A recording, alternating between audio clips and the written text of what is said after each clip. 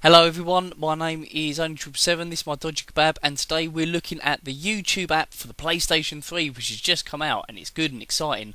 Let's get it over and done with. First of all, yes, it is good, okay, it is good. Um, you've just seen there that my iPhone is just connected. Um, I'll explain how to configure those sort of bits after the video, how to do all the installs and that after the main review part here, which is about three and a half minutes long. Um, but I'm just going to quickly talk about now about the actual app itself. Um, it is good. Uh, it, although it's not shown quite in this video very well, it is. It does load pretty quickly. Um, everything's set out fairly logically. You scroll up and down for different things like your uploads, um, like your your subscriptions, uh, recommended content, um, you know your stuff, and then eventually like the settings and things. Here you can just see me scrolling through my uploads there. Um, you want to know is it HD? Yes, yes, it will play HD content. Hello, it will play it in HD, just in case you wanted to know. So I think we got that. Oh, there's me. You can hear me talking. Starting a human character up. Here, you have there? Hear it, and it's different in both versions. Jumping a bit there, just jumping through the video, uh, scrolling quite quick. Um, so yes, it does play in HD. It is good. So straight away an improvement over what the uh, browser does, and it's all a lot faster, obviously, because it's a proper app. Um, so what what more to say about this? Um, only gripe really so far is when you're typing stuff using like the search, it has the same sort of thing as the Xbox does, where you scroll left and right through the letters rather than bringing up the PlayStation um, keyboard, like the on-screen keyboard. That is really because this is just a port of the um, PlayStation app that smart TVs can have. So it's the same sort of thing. But we're going to look at a couple of other videos there. Not that one. That wasn't a very good choice because that's just someone filming a TV.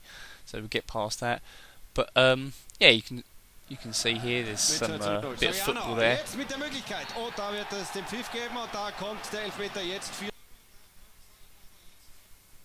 That was clearly football. But yeah, so I think I've covered the most important things really. Is it good? Yes. Is it HD? Yes. Um, searching is a little bit naff. But there's other things you can do with it. Um, that uh, pairing it to a particular device to use so the other device to control stuff. app for a change. I often get app like an iPhone or a tablet, that sort of thing.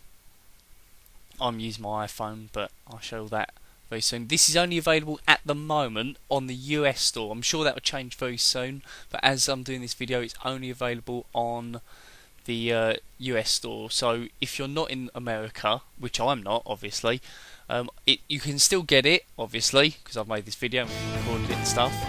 And I'll show you how to do that very shortly. I'm just going to, for the last little bit of footage here, I accidentally skipped when I shouldn't have done when I was recording this. I couldn't bother to uh, re-record it because I want to get this video out pretty quick. Get it out day one. But there's a Fireweaver's channel there. It's Let's Cooperate. But anyway, yeah, so there's me, Only777. I have three um, accounts which I use, an American and Japanese, and my default English one.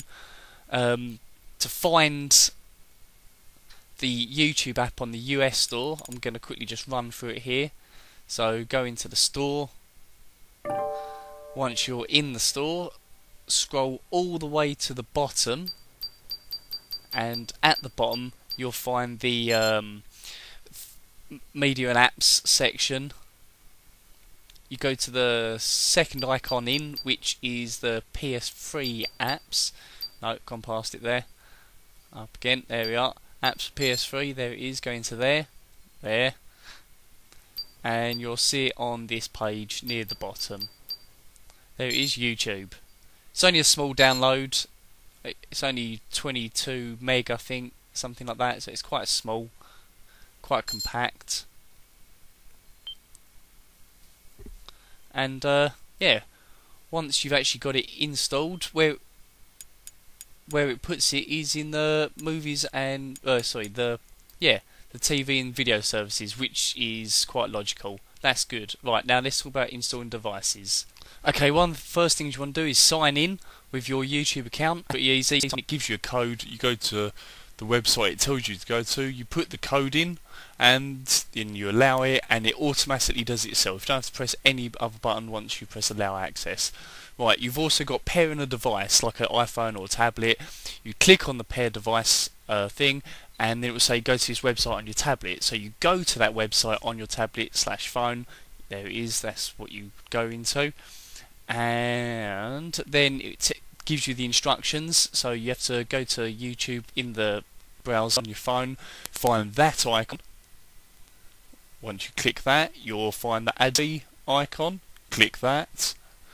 Once you click that, it gives you a code on. Well, it gives you a code on the screen. Not long after that, you put the code from the screen into your phone. Give it a name. I call mine PS3 and then all of a sudden it's connected, it's done, and that's the video over. Well done, enjoy um, PlayStation 3. Bye.